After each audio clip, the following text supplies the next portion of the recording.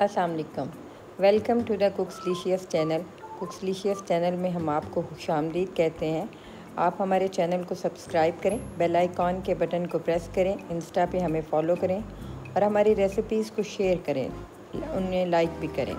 آج جو ہم آپ کے ساتھ ریسیپی شیئر کرنے جا رہے ہیں، وہ ایک سیلڈ ہے نوڈل سیلڈ وتھ پینٹ بہت عام سی eh, eh, ریسیپی ہے، لیکن اس کو یونیک طریقے سے بنانے کے لیے آپ کو جن انگریڈینٹس اجزاء کی ضرورت ہے ہم آپ نوٹ ڈاؤن کر لیں۔ اس میں سب سے پہلے ڈلنے والی چیز ہے نوڈلس ہاف پیکٹ بوائل کر لیں اور فرینچ بینس لے لیں ون فور کپ بوائلڈ ہو ان کو بلانچ کریں گے۔ گرین اونین ہو less than one four cup slant cut میں ہو کیپسیکم ہو one four cup rough chopped ہو۔ کیرٹس ہوں cut in strips one four cup boil کر لیں۔ مطلب ان کو بھی بلانچ کیجیے گا۔ Cucumber who one cut in cubes Chinese paint one cup soya sauce one table spoon dark soya soya sauce one four table spoon اس کے بعد سیسمی آئل ہوگا one tea spoon white pepper ہوگی half T spoon salt ہوگا one four table spoon مطلب اس سے بھی کم ہی کریں۔ کیونکہ ساری چیزوں میں نمک آلریڈی ڈلا ہوتا ہے۔ شوگر پاؤڈر ہوگا two table spoon lemon juice ہوگا ٹو ٹیبل اسپون اور بٹ چلی ہوں گے، وہ اس میں آپ مطلب تھوڑی سلان کٹ میں ڈال دیں۔ لیکن جب آپ کٹ کریں گے تو آپ کو بٹ چلیز تھوڑی، ان کا اسپائس بہت تیز ہوتا ہے تو آپ اس کو ایسا کریں کہ جب آپ ان کو یوز کرنے سے ہی، کٹ کرنے سے پہلے ان کو دھو لیں۔ اور عموماً یہ چیزیں جو ہوتی ہیں، ان سب کو آپ جب بلانچ کرتے ہیں تو بلانچ کرنے کا طریقہ کار یہ ہے کہ آپ اس میں نمک اور چینی ضرور ایڈ کر لیں۔ سب سے پہلے یہ ہے کہ آپ جو باؤل لیں۔ اور باؤل میں جو آپ نے گرین اونین ہے، اس کو ٹھنڈے پانی میں کنڈیشننگ کا مطلب ہوتا ہے کہ آپ ٹھنڈے پانی میں ڈال لیں۔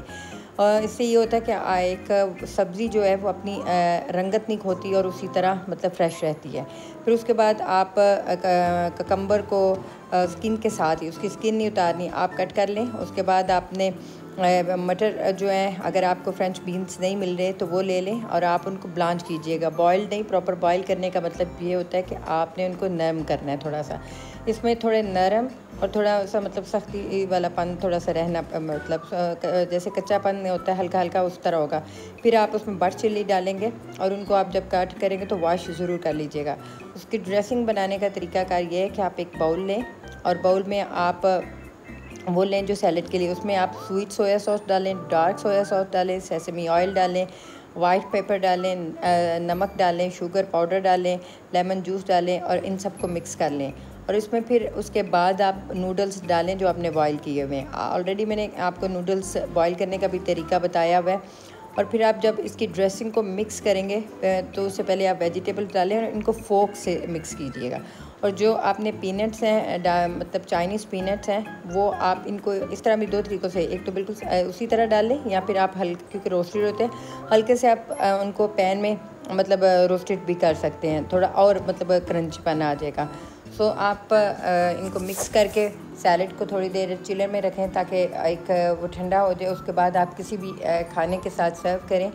امید ہے آپ کو ہماری ریسیپی پسند آئی ہوگی۔ آنے والے اور دنوں میں آپ کے ساتھ نئی ریسیپی لے کے آئیں گے۔ آپ ہمارے چینل کو سبسکرائب کریں بیل آئیکن کے بٹن کو پریس کریں شیئر کریں لائک کریں انسٹا پہ ہمیں فالو کریں۔ اپنا بہت خیال رکھیے گا اور ہماری ویڈیوز کو دیکھتے رہیں۔ ٹیک کیئر اللہ حافظ۔